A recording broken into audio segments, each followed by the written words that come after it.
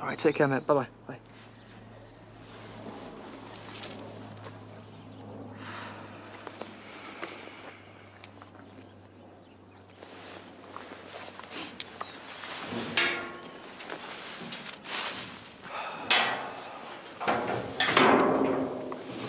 Come on then, Chip.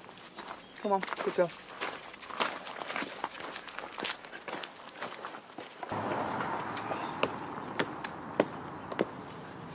So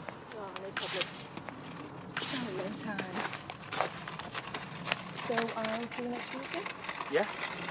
Oh, bless you. Hey, we've all had disasters with the home dye kit. Just pack up and I'll, uh, I'll sort you out.